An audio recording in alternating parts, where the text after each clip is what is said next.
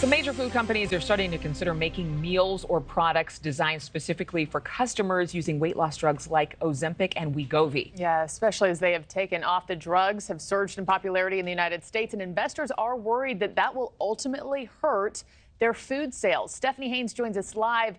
And so, Stephanie, this would be different from regular food. How so? What's regular?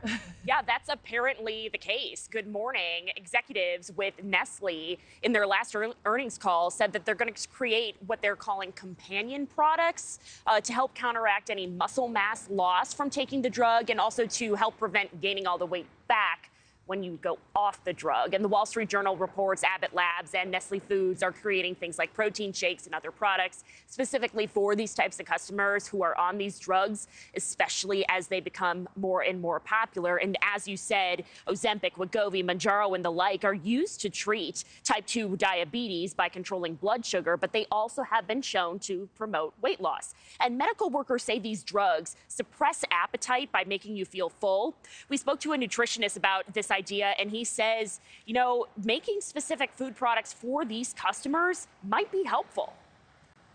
One of the things is when you're on these uh, drugs like Wegovy or Ozempic, um, you you can't just eat anything. Like if you eat foods that are high on carbs or high in sugar, you're not going to feel too well. Um, just because of the mechanism of the medication of what it's doing with your insulin production. So having pre-prepared foods and meals that avoid those certain high sugar, high carbs, and greasy foods is definitely a, a, huge positive. And we reached out to the drug companies and some of the food companies just for a little more information about their plans. Haven't heard back, but we will report when we do. Markie.